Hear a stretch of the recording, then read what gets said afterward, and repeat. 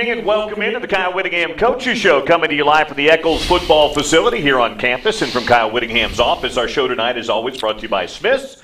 Low prices and market fresh, and we'll be here every Tuesday night the rest of the way, not by weeks, but every game Tuesday the rest of the season. We will be here with you on the Kyle Whittingham Coaches Show over the next hour or so. We will talk a lot of Utah football with you. We'll have uh, Darrin Paulo and Francis Bernard swinging by to talk some Utah football with us. Utah's 2 0. Big win over Northern Illinois. We'll talk Idaho State with you, some big picture stuff, and uh, a whole lot more coming up on the Coaches Show here tonight from the Eccles Football Building. I'm Bill Riley. For those of you streaming us in tonight on the uh, Twitch and uh, YouTube channel, we welcome you guys in on the video stream tonight. And of course, all of you listening in on our flagship radio home, ESPN 700. I'm Bill Riley, and this, of course, is the head coach. He just stepped off the practice field here tonight. How was the uh, day today? Good day. It's uh, this team is ever since last spring has been uh, a team that's got a great work ethic, gets down to business, and uh, you know takes things very seriously on the practice field, which is great to see. Uh, do you attribute that to so many upperclassmen and so many guys that have been in your program and played key roles for you that are back this year? I would say yes, and that's something that that uh, we saw last year with last year's group and losing so few guys. Uh, it's really essentially you know the same group as last year, minus a, a few guys. Now those guys were key players. Don't get me wrong, but but uh, these guys know the drill. They know how to operate, and uh, we've got great leadership this year as well. You're starting to feel a little fall-like out there. You had a little rain yeah. today. Temperatures were yeah. cool. It was a nice day for football. Yeah, last it? week we were just dying. I mean, it was 90 plus each day of practice, and and today was a nice reprieve from that.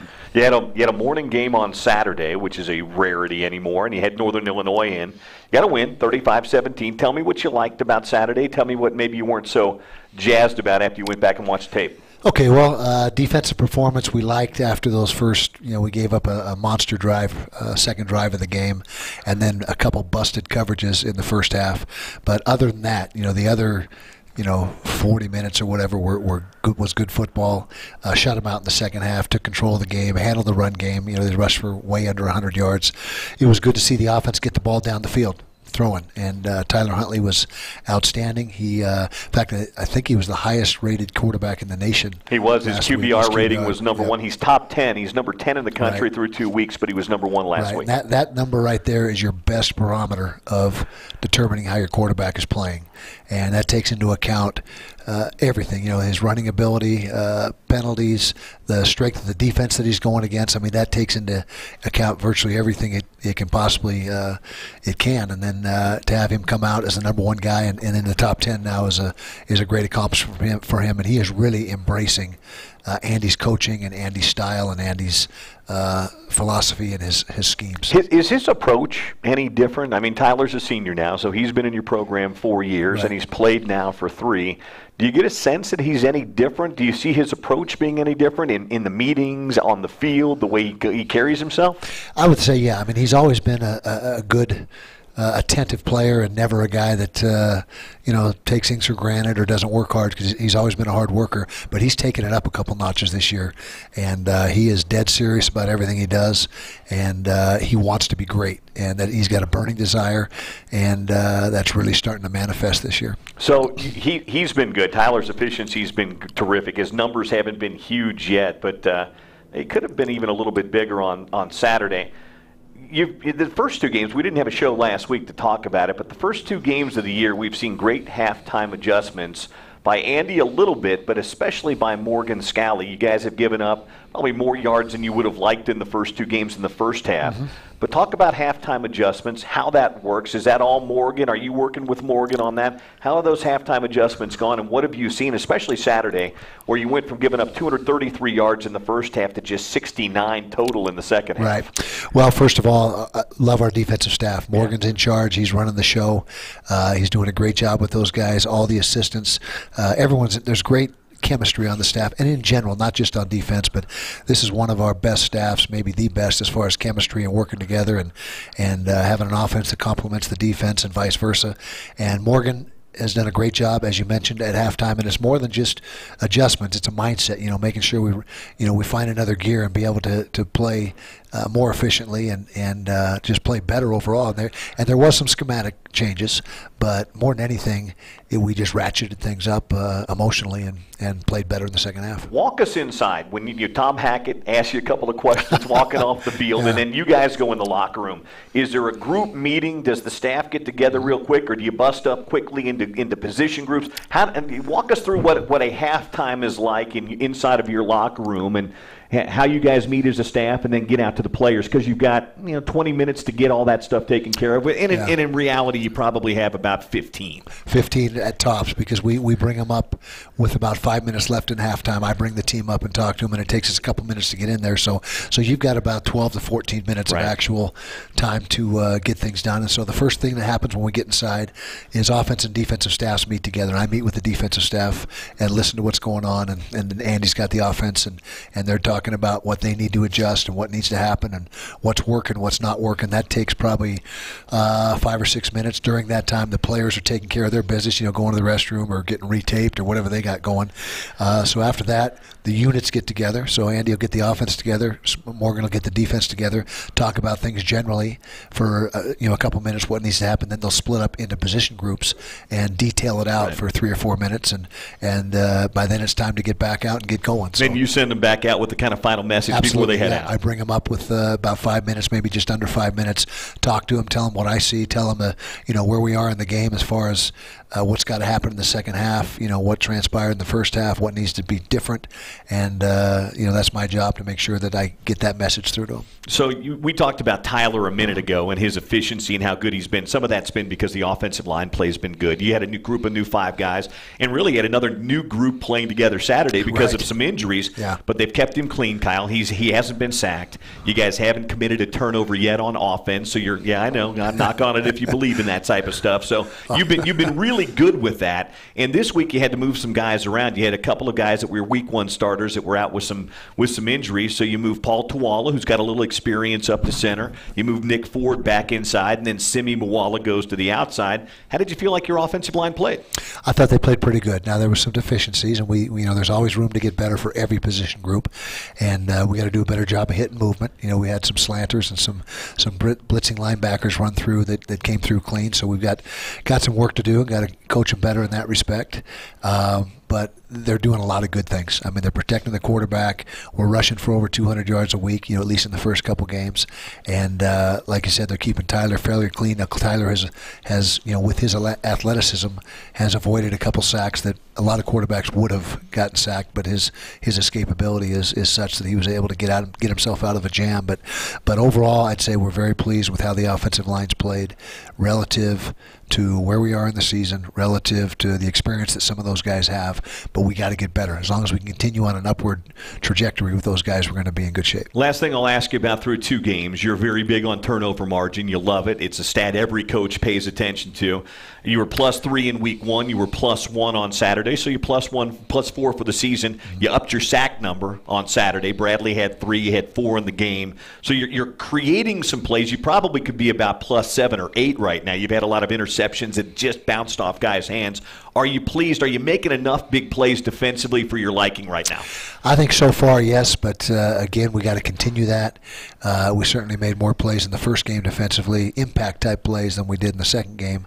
But uh, you know, as long as we can stay on the positive side of that margin, and uh, you know, the the key is the offense. Uh, you know, taking care of the football Right. and scoring in the red zone. We were five for five in the red zone past Saturday, you know, five touchdowns and five trips, and that was outstanding. And so, if you can take care of the football and score in the red zone, you're not going to lose many games. Uh, you, you'll take five for five and Jadon Redding kicking five extra points any, Any day, of the week. But I know there's a, a point, you mentioned it in your press conference yesterday. You'd like to give Jadon a couple of field goal opportunities, right? We would, yeah, we would, and he's, uh, you know, we're confident in him. He does a great job. He was perfect today in practice.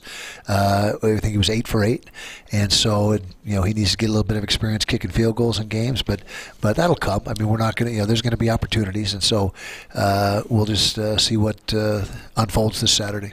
So uh, you're listening to the Kyle Whittingham and watching, uh, for some of you, the stream of the Kyle Whittingham Coaches Show presented by Smiths. Our game today and our, our, our uh, broadcast today being brought to you by our friends at um, Sync My Game. If you want to listen to our radio broadcast and watch the television broadcast, you can sync them up now.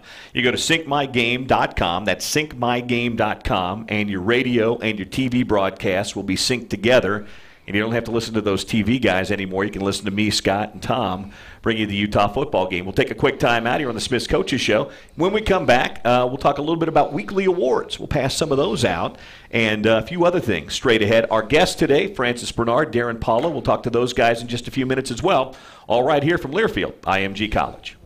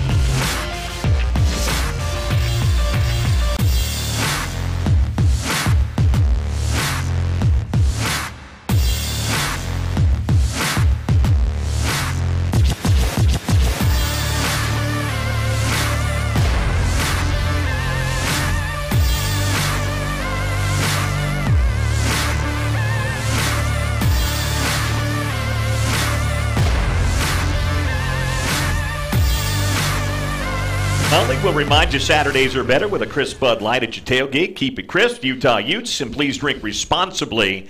Tyler Huntley's put on about 20 pounds over the last year or so, and you could see it, Kyle, when yeah. he he took on. He, he wasn't quite Zack Moss like, but I don't think you want him being no, quite Zack Moss like. But you could see that extra little bit of weight and that speed behind him carried him into the end zone. It did, and and uh, he's worked his tail off in the off season, and now you know his job and ours to help him is to keep that weight on and not let him melt down as the season goes on. Yeah, he was terrific on Saturday. The QBR was number one in the country. He was efficient. He ran it when he needed to run it. I think he had three carries and 38 yards, mm-hmm.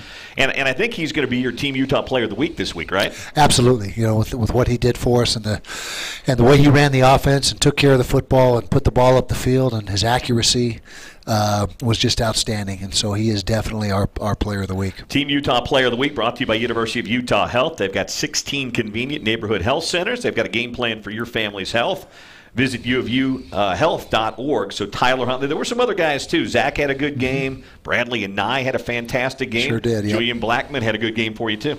Absolutely. There's probably four or five, maybe half a dozen candidates that that uh, stood out and, and could have won that award. But again, I just keep going back to Tyler and his uh, just how the command is probably the best word. The command that he has of the offense right now. Uh, Tyler Huntley, our University of Utah Health Team Player of the Week. That brings us to our Subway Sub of the Week, and you know you didn't have a lot of guys that were out and a lot of backups playing. Though later in the game, some backups played. But I'll tell you what. You had some guys step up. You had a couple of offensive linemen step up and play well. Paul Toala, the backup center, stepped in and started well. Simi Moala got a start out of tackle and played well. But I know you've got a guy on the defensive side of the ball that's in your rotation, but he's not a starter, so he's technically a sub. Exactly, and that'd be Josh Nurse. And, and you're exactly right. Uh, Simi and Paul both played exceptionally well in, in their first opportunity, particularly Simi's, to play extensive time. But uh, Josh was just, uh, you know, he's his his uh, maturation and his fine tuning of himself at the corner position has gotten to the point now where we, we have no drop off when we put him in the game. I mean, he comes in and, and spells both Jaylon and, and Tareke, and uh, but mostly Tareke, and, and also he's a stalwart on special teams. He plays on every special team and does a phenomenal job. He's uh, you know he's so valuable for us. Be, between the reps he plays on special teams and on defense, he got a, he's got a full day's work. You know, he's 60 plus reps. He reminds me a lot of a guy named Brian Allen that you had in the program a right. few years ago. Brian came in as a wide receiver. Josh came in as a wide receiver. You switched him to the other side of the ball. You know, Brian, by the time he was a senior, had kind of established himself in the rotation. Josh is beginning to do that as well, and they both have that long, tall body type. Right. You don't see a lot of six three corners, but both those guys were six two, six three corners. Exactly, and that's a huge weapon, you know, to be able to get hands on it, the line of scrimmage, uh, and then also if you, if, you know, if the receiver has a step on you, he really doesn't have a step on you because the the ball's got to come in so high over the top because of that because of that range that uh, it helps in upfield coverage as well. And so it's a huge asset, and you don't see many guys at that height because there's not many guys at that height that have the hips and the speed and the the fluidity. That uh, is that a word? Fluidity? Yeah, that's I think a good that's word. A word. Yeah. yeah. So so anyway, that's uh, you know he's just like uh, like you mentioned uh, you know the, the corners that we've had in the past, those tall corners, Brian Allen, uh, Keith McGill played corner Sean for us while, Sean Smith. And we've had some guys that have been exceptional corners that have that great wingspan. Well, I like Josh too because he's always pretty upbeat and pretty positive very, guy. He's got a very, great attitude. Yeah. He's a lot of fun to talk to. He is, and he's come a long way. When he got here uh, a few years back, he was a little bit uh, all over the place with his emotions, but he's reeled him in and he's got him channeled right now in the right direction. You've got both. You're getting good play on at that corner spot opposite of Jaylon from both he and Tareke Lewis. Without in fact, Tareke Lewis from the Pro Football Focus folks made the All Pac-12 team on defense this week. Yep, he's playing exceptionally well, and and it was worth the wait. We waited about a year and a half to get him in the program from when we signed him, and uh, he's it's paying off. Another guy who's paying dividends. It took a minute for him to get here too. Is Derrick Vickers. His journey here was a, a long and wild and right. And rocky one, but he's finally here. And we saw Andy had a package for him the other day, and he really took advantage. He did, and, and Derrick, uh, it wasn't only a challenge to get him here, but it was a challenge to get the sixth year. You know, that was yeah. not a slam dunk, and we didn't know until, uh, you know, in the summertime whether or not they were going to grant him that sixth year. So he's overcome a lot of adversity, and now is his time to to uh, make a contribution. And uh, nobody better than Andy Ludwig to to maximize what Derrick Vickers has to offer. All right, we've got Darrin Paulo and Francis Bernard coming up. We're going to do Darrin first here. He's a senior captain.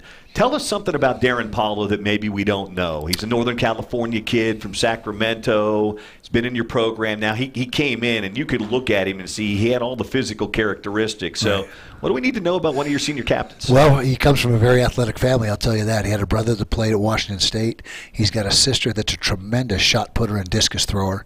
And so the whole family is, is very athletic.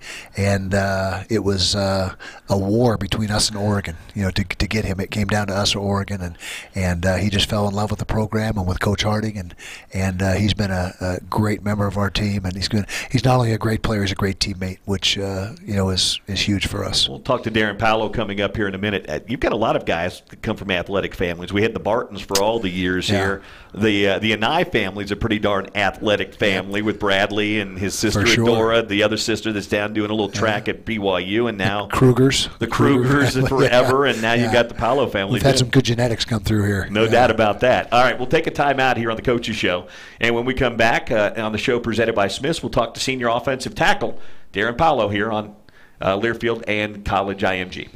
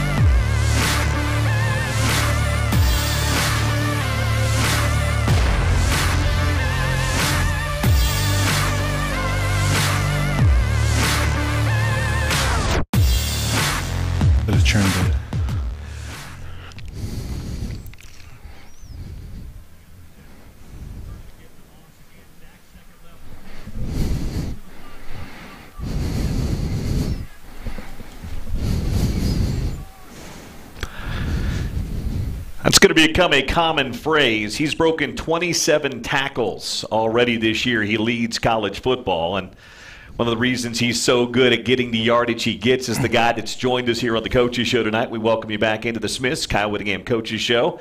And joining us right now, senior captain and left tackle Darrin Paulo with us here on the program tonight. How are you?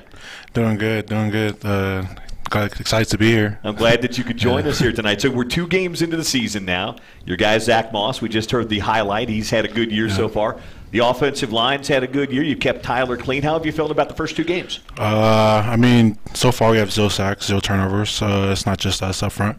Uh, it goes to Tyler, to Zach, to everyone pretty much on the offense, uh, even to Coach Led's new offense. So we give credit to everybody. Uh, but we're loving what we're, what we're seeing so far with production and averaging about 200 rushing yards. Uh, I'm not sure about passing, but all we care about are friends the rushing. No, I'm just joking. Well, it's the rushing yards and keeping your quarterback clean, right? Yeah. That's always big. So You were named a captain a couple of weeks ago by your yep. peers, Darrin. What what did that? You've been in the program now four years. Yeah. So what what did it mean to you when you found out when coach stands up in front of you and announces the captains and you hear your name called? What did that mean to you? I'm old. I'm old.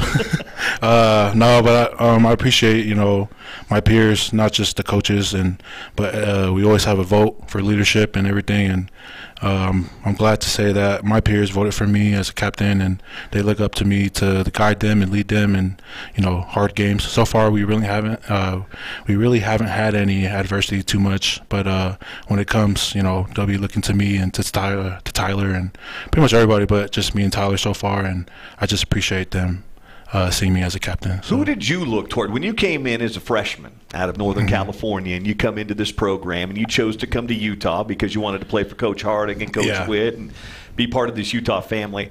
Who were some of the guys that kind of took you under their wing? Who were some of the guys that you looked up to in the program when maybe you were a freshman? Uh, the first name that comes to thought is Siaosi Aiono. Uh-huh. Uh, he plays with a lot of passion. Uh, I think that was the thing that set him apart from everybody else. Uh, you know, JJ and Sam and all those guys are great. Uh, but just something about CLC, I don't know that made me feel like that's something that I should have uh, now, especially as a captain, because uh, it's something that I looked up to and it helped me play better or even practice better. So you got to have somebody. I mean, everybody's got to have somebody, whether you're a safety or a corner or a punter or a long snapper. Yeah, you got to have somebody who kind of takes you under their wing and says, "Hey, yeah, if you got a question, ask me," or "Here's how you do it." Yeah, yeah. Uh, you know, and just even with the O line, just speaking from experience with the O line so far, uh, that's like how Nick Ford and Orlando Umana and Paul Toala, Kyle Lanneman, all those guys step up. It's not just me. Uh, but we all give advice to all the young guys and always tell everyone, even on if the receiver drops a ball tight end, we always tell them next play, move on. Uh, if Tyler makes a bad read or something, or Zach gets tackled in the backfield, we always tell him we got him the next play. So Darrin Paulo with us here on the uh, Coaches Show tonight. So let's let's go back in time for a minute. You're going to Grant High School in Sacramento, California. Yep. You're a NorCal guy. Yep. H- how do you get from there to Salt Lake City? What was the journey like? And, and how did you end up choosing Utah versus some of the other schools you had options to go to? Uh, I think it was just, I think the thing that separates everything else from all the other schools was definitely family. Uh, a lot of schools preach, you know, we're family, we're close, we're all this. Um, but when I came here, I just I could sense something different, uh, especially coming from a close family of you know my own. I could sense when people actually like each other, and especially with O line, D line. Usually they don't like each other but but we don't like each other on the field. But as soon as we're done, you know, everything's all handshakes after practice. We love each other and we just hang out together and you know we just chill out at the blocks and stuff. So. What, what, are those what are those battles like? I mean, you guys are tough up front. Yeah. Utah's offensive line's always been physical. The defensive line we know. Yep. So what are those battles like in practice and how, how heated do they get? What's the what's what's the, what's that like on a day in and day out basis? Uh, I think we don't like to lose. Neither of us. Yeah.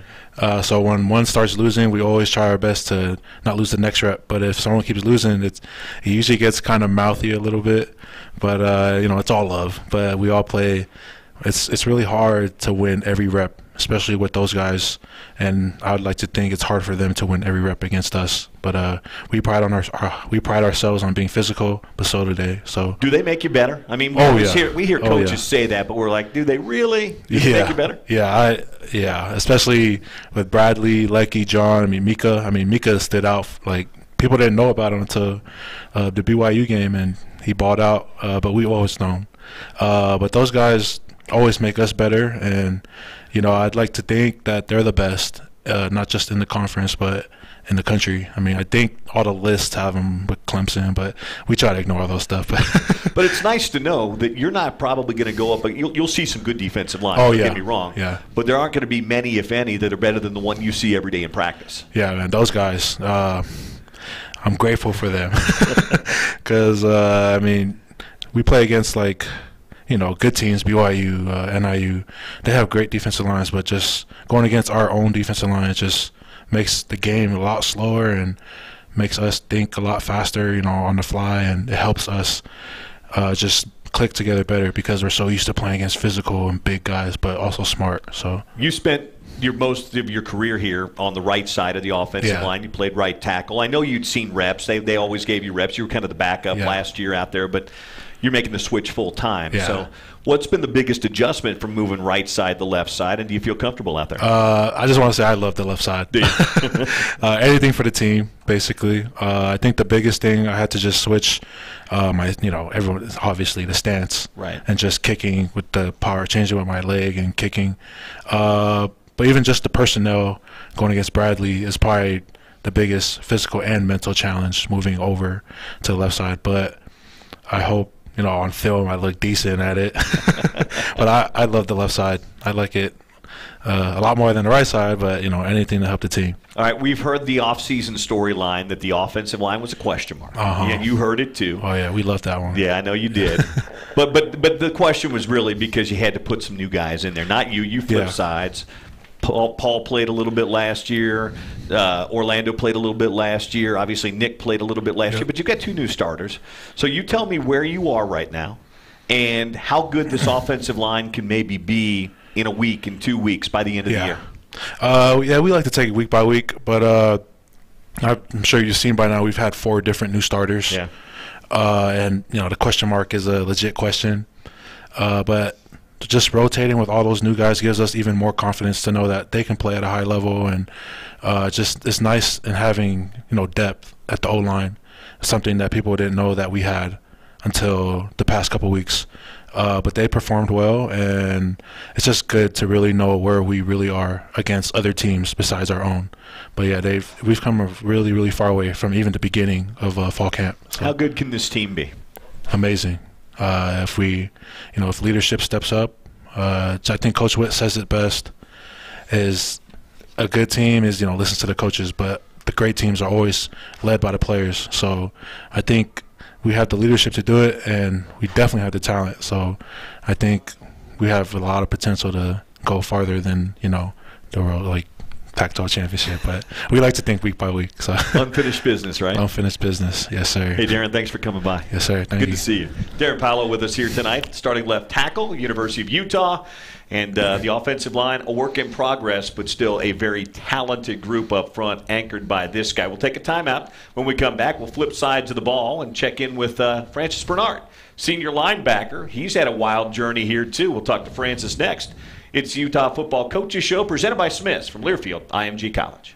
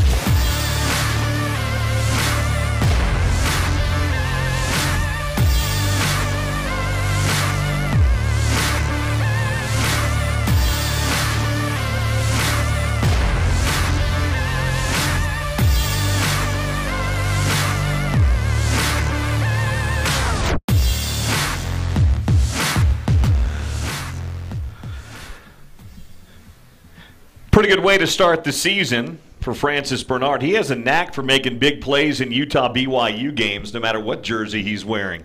Made a big one at Rice Eccles Stadium a few years ago, too. Still one of the most acrobatic interceptions I've ever seen a linebacker make. And he joins us here on the Coaches Show tonight, here on uh, Learfield IMG College. How are you? I'm good. Really doing really good.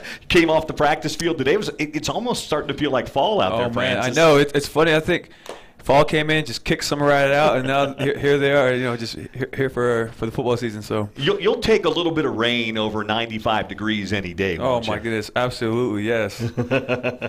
so let me ask you. It has been a long, strange journey for you, my man, oh, from yeah. Harriman High School to the University of Utah. Do you feel finally kind of feel at home and settled in your senior year and ready to go? Oh yeah, um, you know things have finally just kicked in, and you know just like you said, I've calmed down, and now all I'm doing just focusing on football and you know doing my best to. Uh, show my talents and do my best to contribute to the team. I don't know if people remember this, but when you came out of high school, you were a running back. Yeah. You were an all-state yeah. running back at Harriman. That people see you now playing linebacker and making tackles, but you were running back. Was Utah ever a consideration coming right out of high school, or were you BYU all the way? So they were. I, I didn't have it have an offer, right. so I was gonna actually just either prefer walk on here, or just um, take uh, you take the scholarships that I had, and so sure. I ended up going to BYU just because of that. So a- after after your time there, and then you were out of football for a minute. Did you ever worry that maybe you wouldn't play football again? Was there ever a time in your mind where you're like, I may not play again. Oh yeah, there was definitely times where, you know, I was down and kind of didn't know what to do, and I mean, but uh, I had great people around me that kind of put their arms around me and helped me get back on my feet and helped me to get to where I am now. How was it coming in here? We were just talking to Darrin a minute ago. We hear a lot of guys when they come in here, they're recruited here. They talk about it felt like a good family atmosphere. You weren't re- you were recruited, but you weren't. But you came in and you knew a lot of guys here. You knew the program. Did it feel like family when you stepped in here? Yeah, I mean, it was. They were a little, you know, push. They're pushing me back at first just because I came from BYU, but um, you know, just a few days into the program, uh, the linebackers are kind of just put their arms around me and helped me go get through the program, and then you know, from there it was just the rest of the team, everyone in my pod, and then the whole locker room just kind of helped me get used to the system. And so um, I'm just, it's just a, a, testament to Coach Witt and what he's done to the, the culture of, the, of this program, and it's just so family oriented. It's amazing. So you, you had Coach Ena as your coach last year, and now you've got Coach Swan as your coach this year. And, and I've loved meeting Coach Swan and getting to know him. Oh, yeah. He fits in perfectly, I think, with Coach Scalley and Coach Shah. Energy yeah. all day long. How's the linebacker room? How's that group coming together? Oh, it's awesome. I mean, if you were to ever sit down and talk with uh, Coach Swan, one, he's he's a great guy off the field, funny, you know, just like I said, energetic, just always upbeat.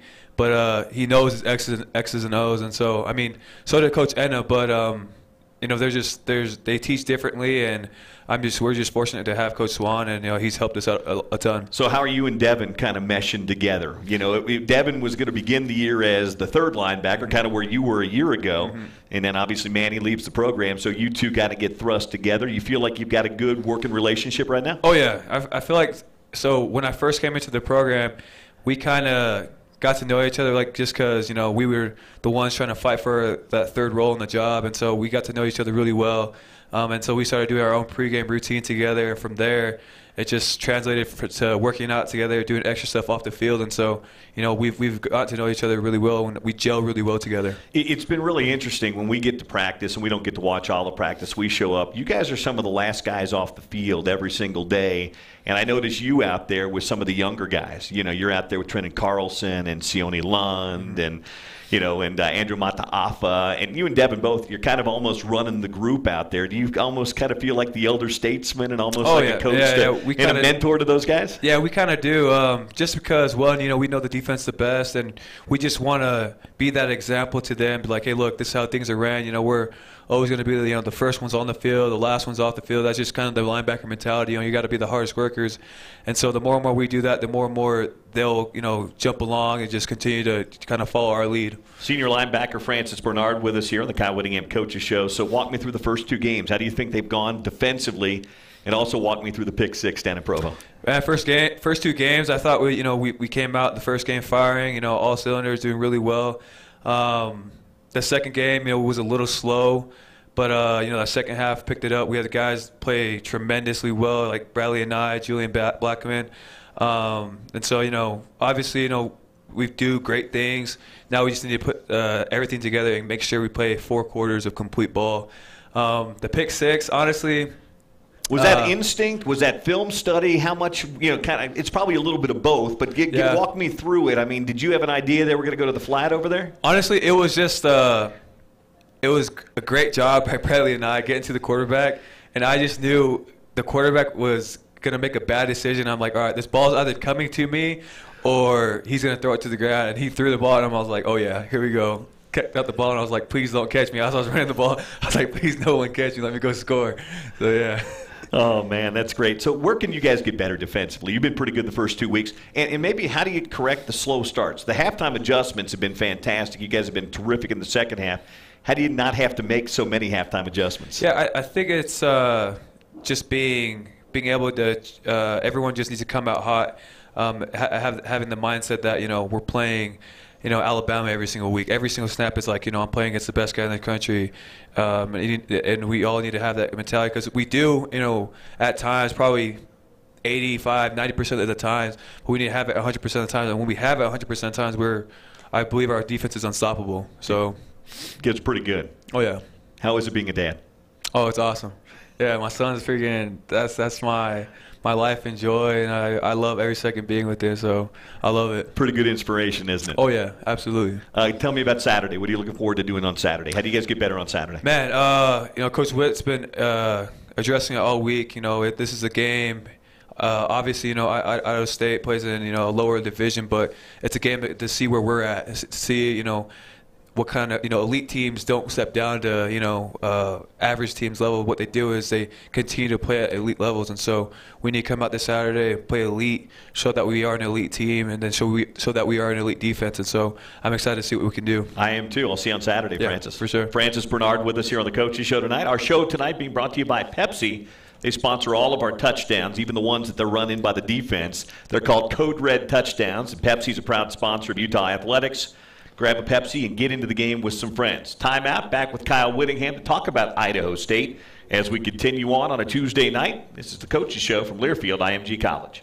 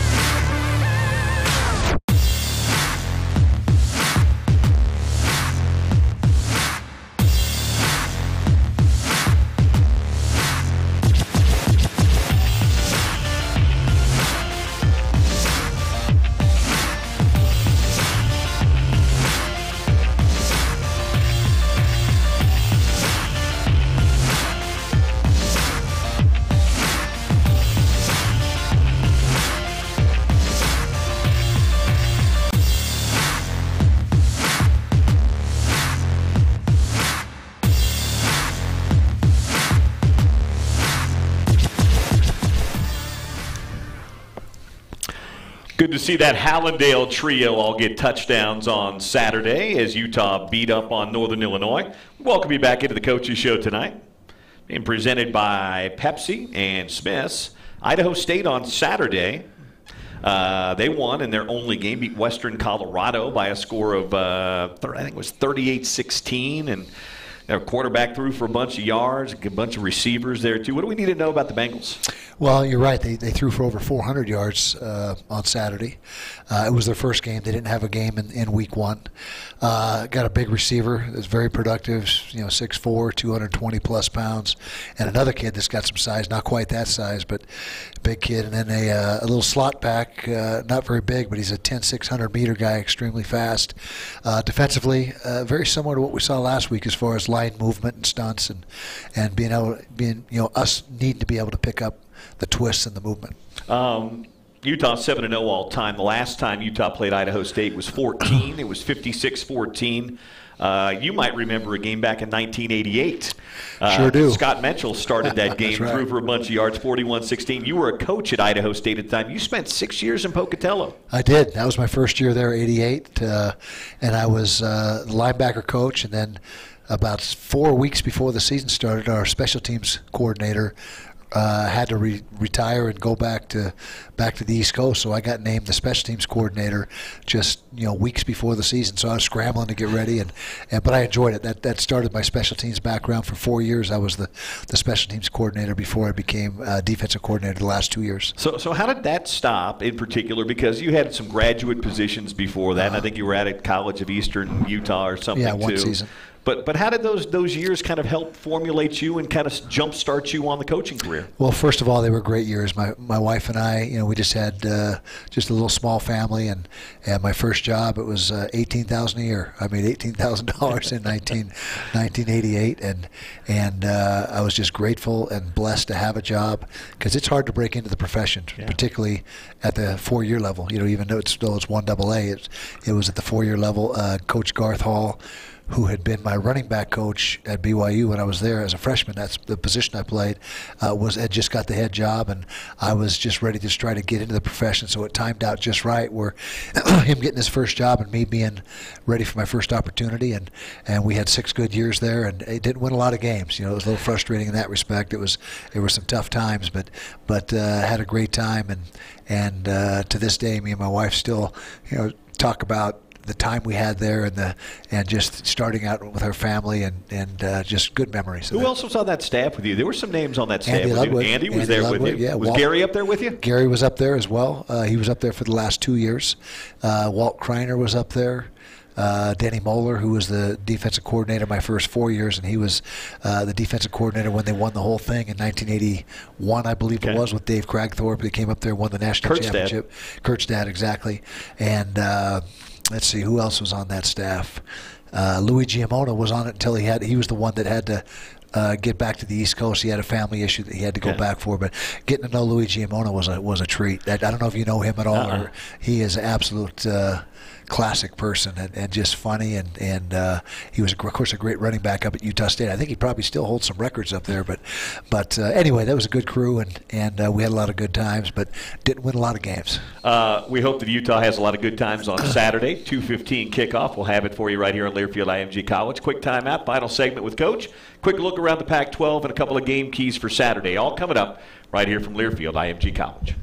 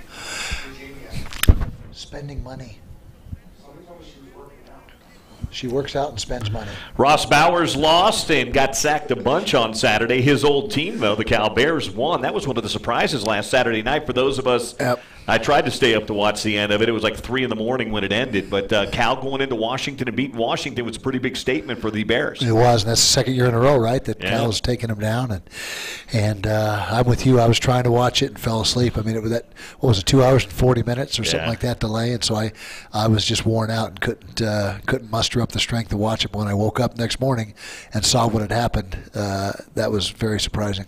The other thing that was maybe surprising, maybe not the result, but the, the margin was USC beating Stanford Yeah. last weekend pretty handily. You'll see them in a Yeah. week, but uh, you know all the injuries and losing your starting quarterback, that backup kid came in and threw it pretty well. He did, and uh, you know, especially when they got off to such a bad start. What was it, seventeen nothing or something like that? Yeah, early 17-3, Stanford, seventeen three, and then to come roaring back and, and take the game over was pretty impressive. Well, that's the one thing, and you and I have talked about that over the years. The one thing they never lack at USC is talent. Four and five star athletes littered throughout the pro, without throughout the program, throughout You, the you should never feel bad for USC, even in Yeah. bad years. They've got lots of talent in that program. You've got a lot of talent in your program. Your last non-conference game's coming up on Saturday. Uh-huh. Uh, what do you want to get accomplished heading into conference play Saturday? Obviously, the win, we know that. But but aside from that, what do you want to see get happen on Saturday against Idaho State? I think take another step forward with the uh, evolution of the offense. You know, it can, it's continuing to evolve and to, to expand, and that's you know by design. Andy, you know, has a master plan that he's uh, adheres to, and uh, you know he's installed offenses at several different places, so he knows exactly what he's doing. And so I think uh, just take that next step offensively.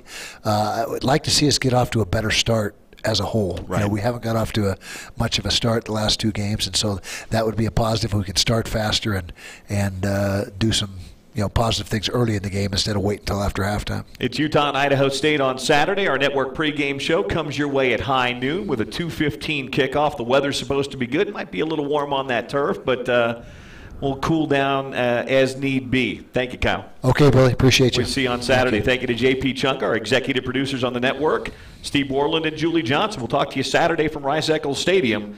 This is Utah football with the Kyle Whittingham Coaches Show from Learfield, IMG College. Good night.